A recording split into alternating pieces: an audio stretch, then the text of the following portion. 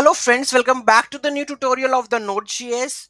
In the previous, I have uploaded the video like how to send the email to multiple recipient. There is a request that how we are going to make a dynamic emails. Currently, I am using the static part. Okay, so here if I go to the tutorial controllers, here in the two, I am just adding the array of the email addresses. So the person here says that I want to connect the database to retrieve my email. So means the email should come from the database, right? So here we are doing the connectivity with the database and fetch all the emails addresses that we have and make them into an array and send that onto that email addresses okay so we are going, going to make it dynamic part okay somewhere you are in the settings you are making the emails you want to fetch that one you want to send that emails to that addresses that case is very helpful on that one. Okay so let's see how we are going to do that.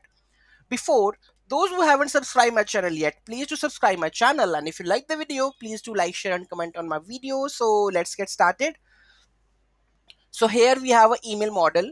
So i have created the new email model where i am storing all the email addresses which i want to send. Okay so this is the schema of that model Next on the server.js file where it is here I have created the one method where I'm just inserting the emails the static emails okay insertion.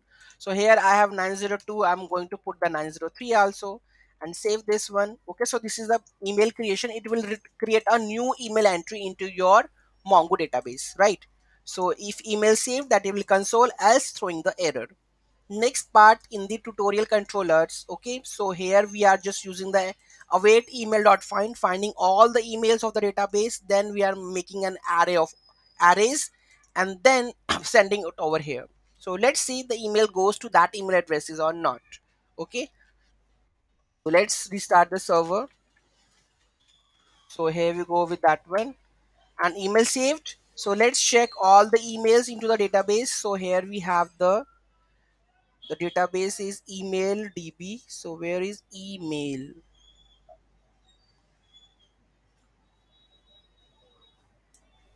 So let me refresh the connection. Emails db collections. Then we have a emails. So here you can see the one email is rajni 903 let's add what two more three emails. So here we have 903 let's go to the server and we will make 901 also save it and try to run again.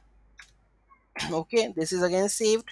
Let's refresh view documents. There are two records. Okay run 901 and 903 let's check on this emails on this email addresses the email goes or not. Okay so we have in the two array list. Okay so let's try to go to the postman. We have a send email api try to send and check. These are the two emails 903 and 901 and the message sent successfully. Let's check the Mailinator section.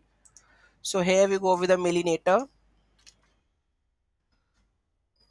So we have a Mailinator 901 so which are the email addresses? In the terminal 903 Rajni 903 901 Rajni 901 first we check so here you can see that just now it's delivered. And then we have back to the inverse 903 so 903 if we go and here you can see just now it received the email right? So this is how you can make it dynamic okay? I hope the user who has commented on my video i hope he get the answer. Any doubt any query in that just do let me know in the comment section. Thank you so much for watching this video. Have a great day